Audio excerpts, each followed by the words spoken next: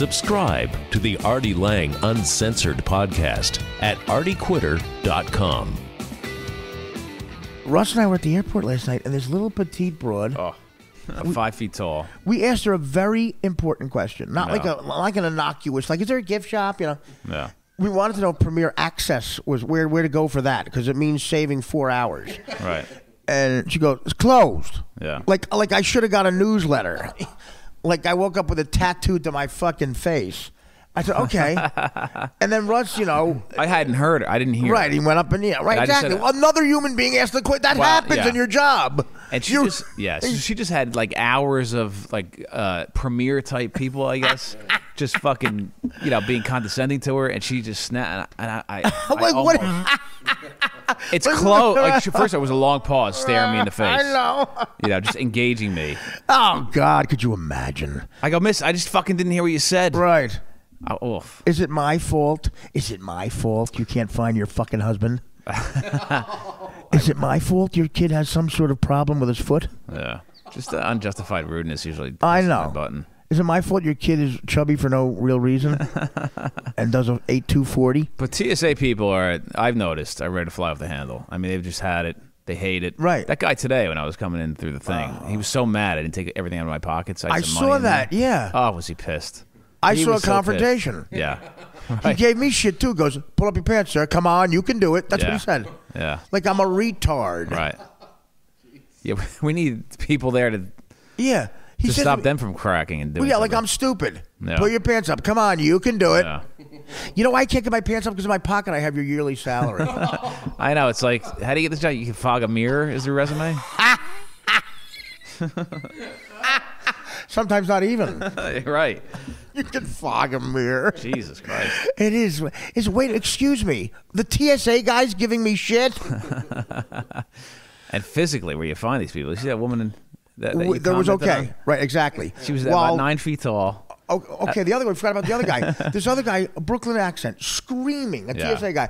I had a dream last night. I was going to meet Artie Lange. I had a dream. Am I bullshitting? I ain't bullshitting you. Did I tell you? I had a dream. 3 a.m. I woke up. I'm going to meet Artie Lange. I, am I bullshitting you?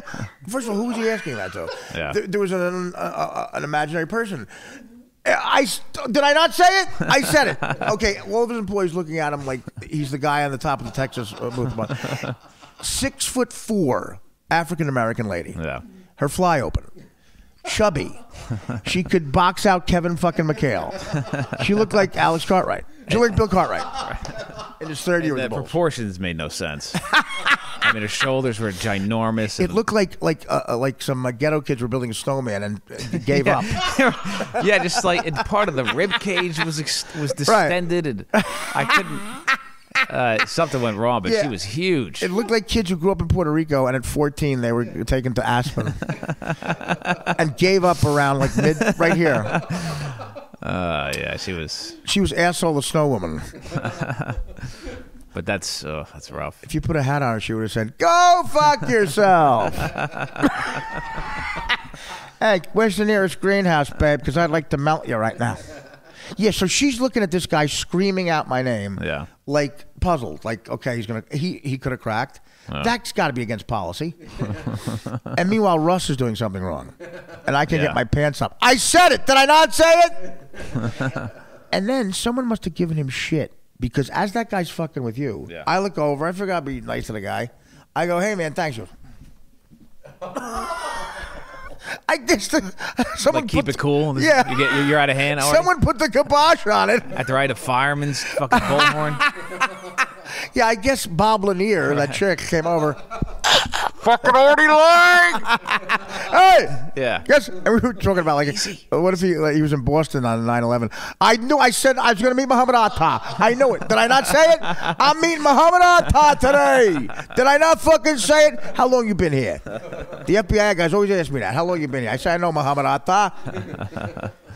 You got a strip club, Atta's Tatas? yeah, that's where they were last night. They were really fucking religious. The the 9/11. Uh, show. Oh, I know. Yeah, they were at a fucking strip Surprised they went club. through with it after that. Yeah, really. Don't they see that and go, "What the fuck am I doing?" Yeah, you're home free. Just stay here. They must really be brainwashed. They must really think 70 virgins. Yeah. I hope they're all dudes. No, right.